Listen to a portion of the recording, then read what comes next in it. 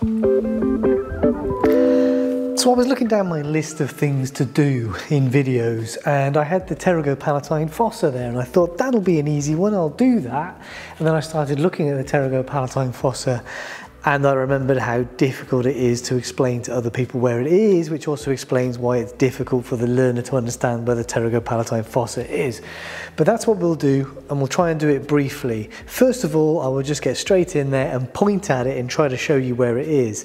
Then we'll look at the nearby bones so you have a better understanding of where it really is and then we will look at the fissures, the canals, the foramina, that is the bony holes that link that fossa to other nearby spaces and by doing that we'll talk about the things that go through those bony holes and then you will have a good understanding of not only where it is but also how it connects to other spaces but also by that point what is in the pterygopalatine fossa.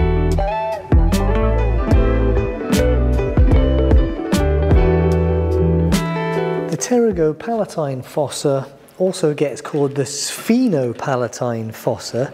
So we've got some words here. We've got sphenoid, we've got palate, palatine, we've got pterygoid, gives us some clues, and we're deep in the face in here. And a fossa is like, it's a depression, right? So a foramen is a, is a hole, uh, a fossa is a depression. So we've got to imagine kind of that sort of space deep in the face up there. So instead of using you, I'm going to use, um, I'm not saying your skull isn't high quality, but I'm going to use a high quality skull.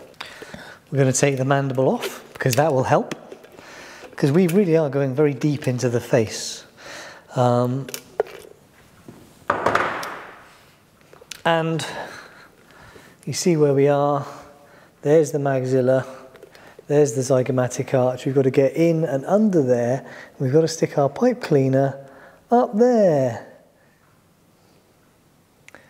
Now we have to be a little bit careful here because the there's a fissure leading to the pterygopalatine fossa, and the fissure is not the fossa. The fissure is like the groove that leads to it. So kind of where where the tip of my pipe cleaner is going. That's where the pterygopalatine fossa is. That's why it's so difficult to get to grips with exactly where it is. So if I take the pipe cleaner out, you actually get a better sense. You can see, and that's the, one of the problems is by pointing at it, you, you obscure it, you hide it, you cover it. Um, and the space in there is kind of just big enough for the structures that are in there. Remember, bones form with the soft tissues, so the soft tissues describe the shapes of the bone and so on. But that in there, that's the pterygopalatine fossa. Okay, we need to look at this from some other angles to better understand it because you're not here with me with this skull. Okay, so here's the maxilla. So the upper jaw maxilla, that bone there. Um, down here, this is the sphenoid bone. And the sphenoid bone is a single central bone. And these rather conspicuous plates here are part of the sphenoid bone.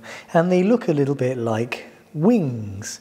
Now, pterygoid, so ptery refers to wing, oid refers to shaped, so these are the pterygoid plates, the medial and lateral pterygoid plates of the sphenoid bone. They are wing-shaped plates of bone, and they have a number of functions, you know, things attach here. Um, so this is sphenoid bone, and this is maxilla, and it's up in there that we find the pterygopalatine fossa. So the pterygopalatine fossa then is between the maxilla and the sphenoid bone, but there's a little bit more to the story. So if this is the maxilla, this is also the maxilla. So the bones of the roof of the mouth, the hard palate, that is maxilla. But at the posterior edge of the maxilla, we have two bones here called the palatine bones. And they actually, so they form the posterior parts, the posterior edges of uh, the hard palate, but they actually extend long processes up here. Now, this is the nasal cavity.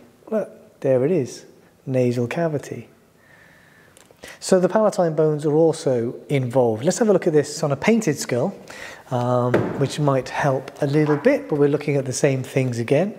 So in purple here we have the maxilla, and if I tilt this up, you can see that this red bone here, this is that very central bone of the sphenoid bone and you can see these pterygoid plates and you can see one of the muscles that takes advantage of those pterygoid plates to attach to. Now this red here and here, these are the palatine bones. This is the posterior edge of the maxilla, the posterior edge of the hard palate there. Okay, so we've got our major players. Um, now, that fissure that I talked about running up here is between the maxilla and between the sphenoid bone. This is the lateral pterygoid plate of the sphenoid bone. And at the top of the fissure is the pterygopalatine fossa. Right, what spaces have we got nearby? Well, here's the orbit. That's really close by. Here's the nasal cavity. That's really close by. Up here, this is the top of the pharynx. This would be the nasopharynx up here. And here's the oral cavity. Remember that if we take off the skull cap, in here, we've got the cranial cavity. Um, and that's the middle cranial fossa there. So that spot there, the pterygopalatine fossa, is right between all of these major spaces, which is what might make it interested if you're interested in that sort of thing. Does it connect to any of those spaces? And if so, how? Yes, it does. Um, the easiest one is the orbit. So in the orbit, there are two fissures. There's a superior orbital fissure which links the orbit with the cranial cavity through there. But then there's an inferior orbital fissure which links the orbit with this region of the face. The superior end of the pterygopalatine fossa communicates really nicely with the orbit through the inferior orbital fissure. So through there pass blood vessels, uh, the infraorbital artery and vein, and also um, branches of the maxillary branch of the trigeminal nerve, such as the, the zygomatic branch.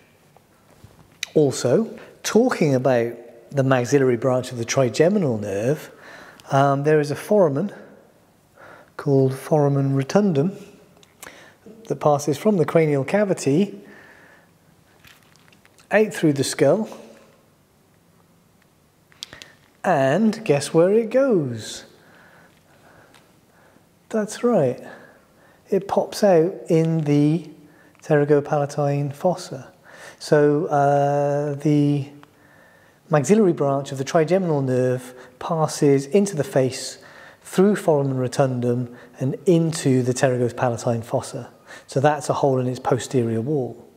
Now, nearby, there are two other holes. Um, so also in the posterior wall, you'll, you'll find, if you're lucky, you'll find the um, pterygoid canal or the, uh, the Vidian canal.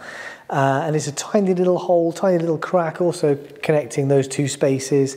And the pterygoid canal has something in it called the nerve of the pterygoid canal, which is a collection of sympathetic and parasympathetic autonomic nerves which are passing from um, the cranial cavity to the pterygopalatine fossa.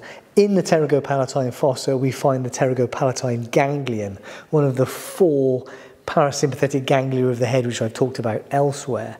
But um, right here we find the internal carotid artery. That's surrounded by sympathetic nerves. They jump through the pterygoid um, canal, for example, to get to this point. The parasympathetic fibers come from the facial nerve. Speaking of things that we're not going to see, there's also a pterygovaginal canal. I know, funny set of words to find in the head. Um, but again, it relates to some bones. And also gets called the pharyngeal canal, which might make the words more sensible and easy to remember. I don't know. Also links the pterygoid of the pterygopalatine fossa to the superior part of the nasopharynx, so up here. So I don't know if you can imagine it, but it's, it's again, it's a small hole, a small canal running from the pterygopalatine fossa through these bony bits to pop out here. So that's carrying uh, the pharyngeal branch of the maxillary nerve and the pharyngeal branch of the maxillary artery you're more likely to see this on CT images when your anatomy is really good than you are on um, a real skull, let alone a plastic skull. Uh, sphenopalatine foramen. Now, this is something we can, I don't know if you can see, we can just about see it in there. So the pterygopalatine fossa is here. If I push the pipe cleaner up, it goes up into the orbit. But if I push it medially, there's a nice little hole in there and we'll see that